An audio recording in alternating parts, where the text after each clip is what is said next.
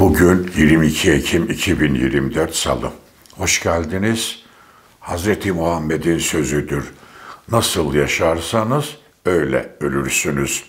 Fethullah Gülen CIA casusu olarak yaşadı, hain ve vatansız olarak Amerika'da öldü. Hayır hayır çamur atmıyor, somut hüküm veriyorum. Fethullah, Türkiye'nin NATO'ya girişi sonrası var edilen Komünizmle Mücadele Derneklerinde aktif çalışma yapan din görevlisi olarak sahne alan bir isim.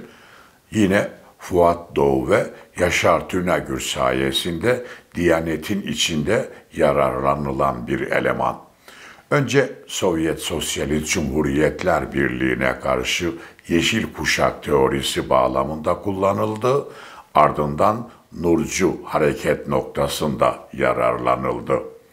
Peşi sıra Necmettin Erbakan'ın başlattığı İslamcı harekete karşı ılımlı İslam cereyanı adına desteklendi.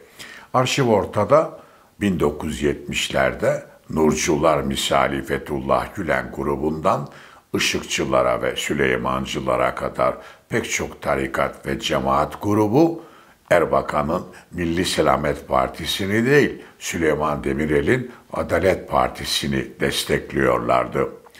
Keza bu gruplar 12 Eylül darbesi sürecinde de solcular ve ülkücüler gibi zarar görmedi. Fethullah Gülen, Nurcuların içinden çıkıp kendi adına cemaat kuran bir şakirt hareketlerine hizmet diyerek eğitimi temel misyon edinip güya altın bir nesil inşasına kalkıştı. Ancak yaşananlar ortada. Altın nesil dedikleri bir kuşak casus nesil yapılıp berhava edildi. Fethullah Gülen hareketi ve organizasyonu eşittir. Baştan beri Türk devletini içeriden kuşatma ve ele geçirme projesiydi. Öyle olmasa din, diyanet diyen bir yapı niçin Türk ordusunda, Türk yargısında, Türk polisinde ve devletin bütün kademelerinde kadrolaşır? Fethullah grubu aktif siyaseti metot yapan bir yapı da değil. Partileşerek açık faaliyet yapmak yerine sinsiliği, sızmayı, nüfuz etmeyi, sahtekarlığı, riyakarlığı ele geçirmeyi metot edinen ajan faaliyeti. Kullandığı metaforun kaynağı da din yani inanç. Irak'ta Saddam Hüseyin ordusunu içeriden ele geçiren Kestizani tarikatı neyse Fethullah güruhu da öyle. Basit anlatımla İslam ile afyonlanıp yetiştirilen mankurt sürülerinin devleti içeriden ele geçirip emperyalizmle kol kola girmeleridir. Fethullah Gülen bunu yapmak için dershaneleri kontrol altına alarak altın nesil inşası diyerek yola çıktı ve eğitimli müritler ordusuyla AKP iktidarı sayesinde devletin hücrelerine nüfuz etti. 1990'larda medya ortamında karşılaştığım Fethullahçılara Amerika ile olan ilişkilerini sorduğumda verdikleri karşılık şuydu. Amerika dünyanın süper gücü. Onlarla mücadele etmek Türkiye'ye kazandırmaz kaybettirir. Biz Amerika'nın istediği her şeyi yapıp sonra kendi istediklerimizi yaptırmaya çalışacağız bakışındaydılar. Yani hiçbiri Amerika ile olan bağlarını inkar etmiyordu. Fethullah Gülen'in yüz küsür ülkede güya Türk okulları açması da bunun sonucuydu. Güya Türk okulları diyorum zira söz konusu okullarda eğitim İngilizceydi ve tepe yönetimi CIA kontrolündeydi. Amerika Birleşik Devletleri bu okullar sayesinde İslam ve Türk bayrağıyla o görüntüyle dünyanın her yerinde yeni planlamalar ve ajan yerleştirmeleri yaptı. Bunu yaparken de parasını Türkiye'deki mütedeyyinlere, Müslümanlara ödetti. Çünkü söz konusu okullar himmet adı altında zorla toplanan haraçlarla finanse edildi.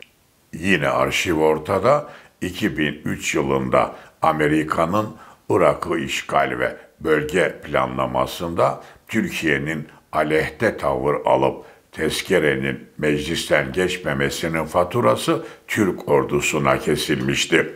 Fethullah çetesinin ön ayak olduğu Ergenekon, balyoz ve casusluk operasyonlarının amaçlarından biri de Türk ordusunu cezalandırmak ve de Türk Silahlı Kuvvetlerini yeniden dizayn etmekti. Özetle değil onlarca, yüzlerce belge ve delille ortada Fethullah cemaati emperyal enstrüman. 2016'daki malum darbe girişimi de Amerika'nın emriyle yapılan iç savaş çıkarma ve Türkiye'yi ayrıştırma, parçalama girişimiydi.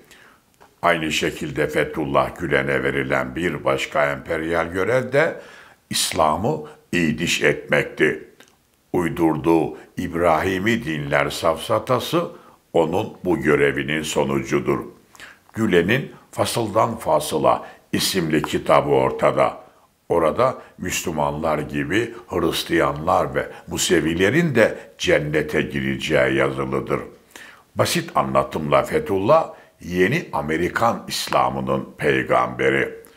Fethullahçıların AKP ile ayrılığı ise sadece ve sadece iktidar yani koltuk kavgasından. Fethullah Gülen Tayyip Erdoğan'a biraz da ben yöneteceğim demeseydi ve Hakan Fidan'la 17-25 gibi operasyonlar yapılmasaydı birlikte devam ediyor olacaklardı. Evet, Tayyip Erdoğan'ın ifadesiyle Fethullah ile AKP'nin menzilleri birdir, aynıdır. Post kavgası olmasa Fethullah Gülen hala mübarek hoca efendi olacaktı. Hiç abartı yok, AKP dünyasının üçte biri de Fethullah Gülen grubuyla iç içeydi, el eleydi, omuz omuzaydı, gönül gönüleydi. Kısaca Tayyip Erdoğan'ın FETÖ'ye karşıtlığı şahsına olan düşmanlıktan ötürüdür. Eğer tersi olsaydı aynı Erdoğan an itibarıyla onlarca cemaat ve tarikate devlette kadrolaşma iznini vermez, tehlikeli bulur, önlerini keserdi. Özetle Fethullah hareketi sapkın ve güdümlü bir hareket ve de niyeti şer olduğu için akıbeti de şer oldu. Gülen, efendisi Amerika'nın kollarında vatansız olarak can verdi. Sayısız günahlarının içinde AKP ve Tayyip Erdoğan'a alan açması ve saha temizlemesi de bulunuyor. An itibarıyla yapılan bütün alçaklıkların patenti de Fethullah Gülen örgütüne aittir. Yargıdan Türk Silahlı Kuvvetleri ve bütün devlete liyakatsız kadrolaşmayı onlar devlet hayatına soktu ve AKP'ye öğretti. Kurulan istibdat rejiminin taşlarını da onlar döşediler. Yine kanıtlı bu çete hem katil hem hırsız. En başta milletin dinini, imanını çaldı. Peşi sıra soru hırsızlığı yaparak milyonların istikbaliyle oynadı. Keza kul hakkı demeyip hayali suç icat etti ve yüzleri, binleri hapse attırdı. Himmet diyerek de önüne gelenden haraç topladı. Öyle olmasa hala hükmettikleri milyarlarca doları bulamazlardı. Milli Güvenlik Kurulu raporlarına göre an itibarıyla Fethullah çetesinin elinde nakit 13 milyar 800 milyon dolar var ki tamamı Türkiye'den çalınan, kaçırılan paralar. Keza bu örgüt aynı zamanda katil.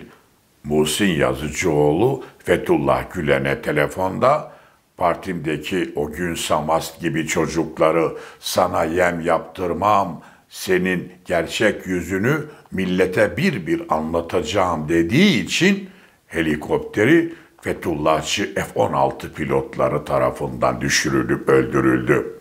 Keza Haydar Meriç, Fethullah Gülen'in Sapkın İlişki kitabını belgeleriyle yazdığı için katledildi, cesedi denize atıldı. Necip Hablemit oğlu örgüte ayna tuttuğu için ortadan kaldırıldı.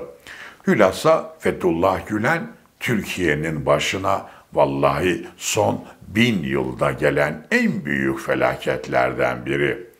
On küsür kere dava açtığı tek gazeteci olan bana nasıl bilirdin derseniz alçak bilirdim diyorum. Tarih onu hain olarak yazacaktır.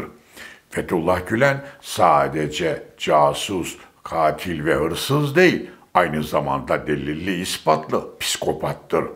Onlarca senesini FETÖ içinde üst düzey yönetici olarak geçiren ve sayısız olaylara şahit olan Hüseyin Gülerce dedi ki, Fethullah Gülen 24 saat yanında olan Uzun Cevdet lakaplı yeğeninin kocası Cevdet Uzun Yolu benim gözümün önünde tekme tokat dakikalarca doğdu ve sonra oh be rahatladım ifadesini kullandı. Psikolojide böyle birine deli denildiğini bilmeyen yok. Dramatik husus böyle bir manyağın bir nesli, bir kuşağı yok etmesi ve on binleri casus konumuna sokması. Kahreden ayrıntı Fethullah'ın ektiği bu hainlik tohumlarının maalesef epey bir zaman daha Türkiye karşıtı diaspora olarak devam edecek olması.